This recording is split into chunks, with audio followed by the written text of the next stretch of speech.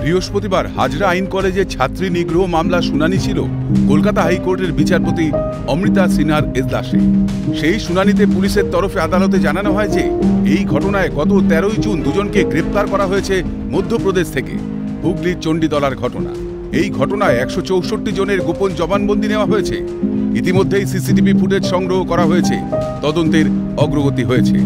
অন্যদিকে মামলাকারীর আইনজীবী শামীম আহমেদ জানান, নিম্ন আদালত পুলিশের ভূমিকা নিয়ে প্রশ্ন তুলেছে।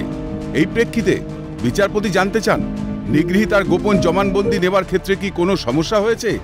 এর উত্তরে মামলাকারীর আইনজীবী জানান, যে সমস্ত পুলিশ আধিকারিক গড়িমসি করছে, তাদের বিরুদ্ধে বিভাগীয় তদন্তের নির্দেশ দিক আদালত।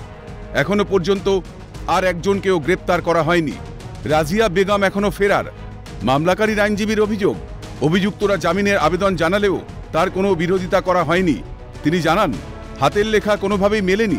এই বিষয়টি নিম্ন আদালতের বিচারকের নজরে এসেছিল। নিগৃহীতার গোপন জবানবন্দি নিয়েছিলেন এসিজেএম হুগলি। গোপন জবানবন্দিতে দুটি লাইন বদল করা হয়েছে বলেও অভিযোগ।